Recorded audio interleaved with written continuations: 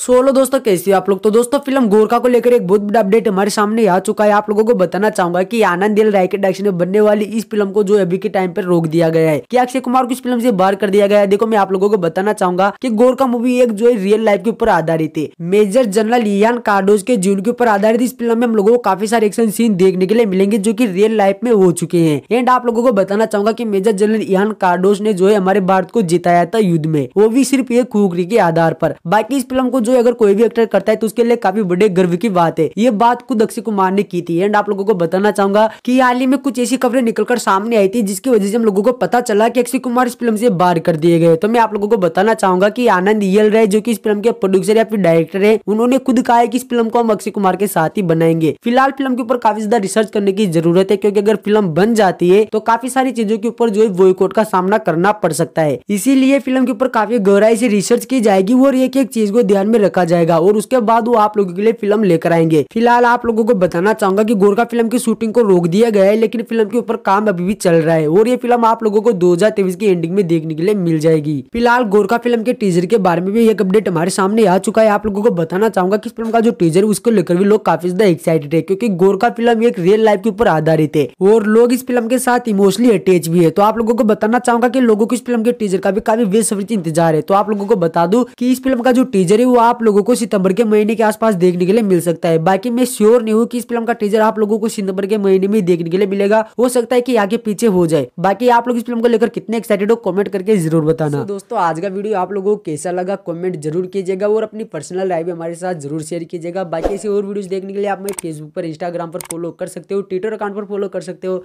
And मिलती है हमारे वीडियो में। तब तक के लिए बाय बाय नमस्कार, जय हिंद, जय भारत।